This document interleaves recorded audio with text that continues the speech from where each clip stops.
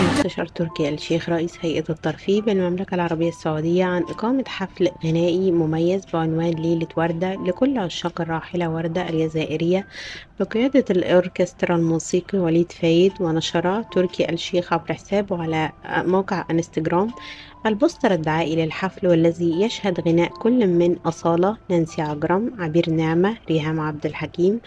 وعلق جدا ليلة مميزة لعشاق الطرب الأصيل